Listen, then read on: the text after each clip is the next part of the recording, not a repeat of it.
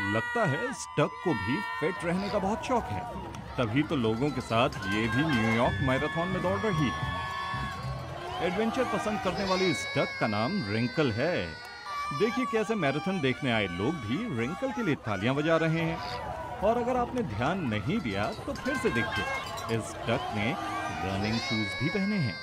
Social media पर duck का ये क्यूट सा वीडियो काफ़ी वायरल हो रहा है।